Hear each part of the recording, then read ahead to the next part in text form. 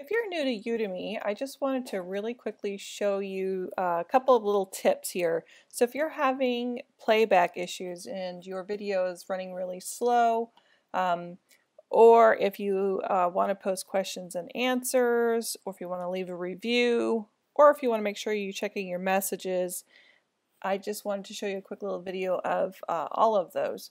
So the first thing you want to do, if you go to your account and you're logged in, up here, uh, you're going to click down and it will actually have a little button that says help. And because I'm already on the help page, it's not showing it here, but it will be in your drop down menu when you log in. So once you click the help button, it will take you to this screen here. And they have a section here for the students, and if you happen to be an instructor, there's one for instructors as well. So let's say if you're a student, you'd want to click on student, and it's going to give you a few options here. Send a message to the instructor. You can play back video issues, so it will show you how to actually slow your screen down if you're having trouble with uh, Wi-Fi connection. Um, if you can't find your course or if you have purchase um, issues. And then they have a few other ones down here on um, troubleshooting purchases, refunds, such or if you're having account issues, it will will cover that for you as well. So unfortunately, as the instructor, we don't get the information um, from from your accounts because there are many instructors on here. So you may take a course from somebody else as well. So it you know your information is all private and it's actually through Udemy. So when you have questions, um, this is where you're going to want to go to um, have those questions answered. All right, so let's start with the sound quality. So once you log into your course and you begin a lecture and you're going to press that play button, uh, some folks have had trouble with either it's not playing, they can see it, but they can't hear it. Um, and there's a lot of other things that can happen. Another thing might be might be uh, talking too fast. So the first thing you want to check is making sure that you're at one times for your speed, and that's that little button down here at the bottom.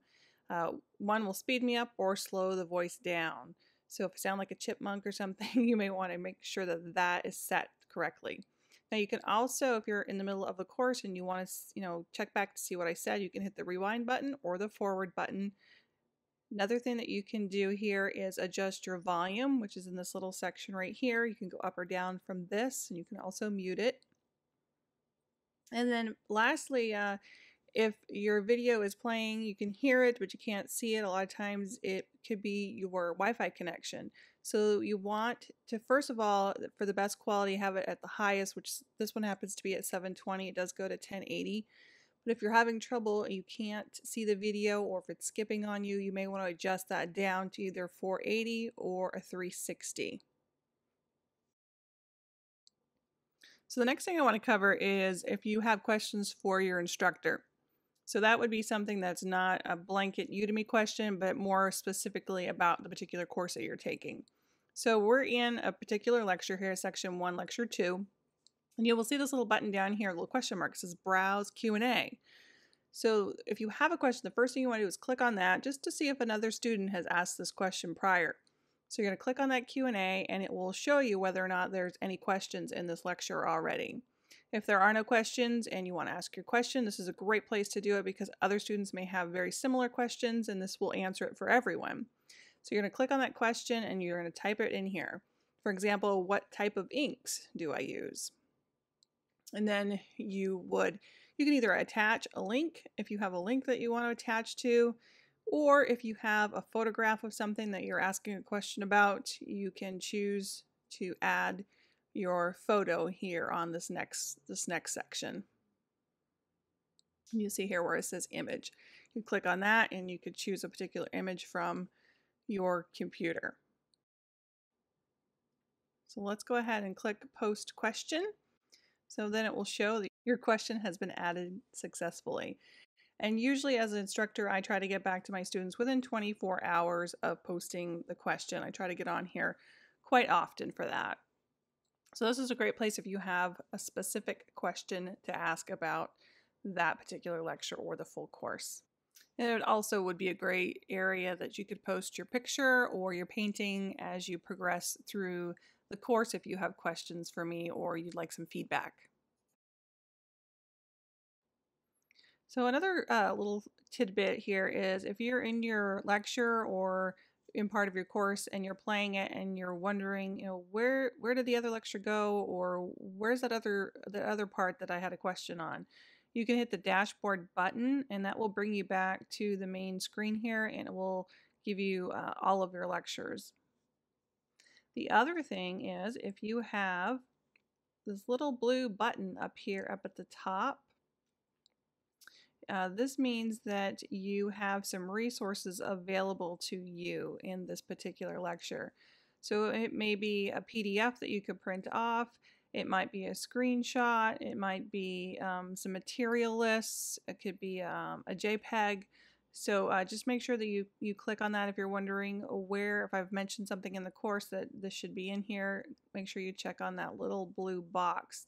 And then it will if you click on it, it will download it to the bottom of your screen here and it will show as a screenshot. So this is just an example piece that I had downloaded. So make sure you're checking your your resources. And I'll usually say it's under resources and that's what I'm talking about is that little that little button up there. So one other thing I want you to make sure that you check is to go into your messages. This is where I will send you a note and you'll see um, on the top right hand corner under messages click that button that says messages and you will see um, any notes that I may have sent you or other instructors have sent you. So make sure you check on that. If you want to leave a review you can first of all choose to skip it. If uh, if you're right in the middle of a lecture sometimes it will keep coming up so you have to shut that off but um, if you want to ever go back in to adjust the rating of a course, you'll see on your dashboard under course content your entire course here. And this is my progress where I'm at. I have three of five items complete. But at any point, you can click on one of these stars here to rate your course, and you could go back in at any time to adjust that or change that rating.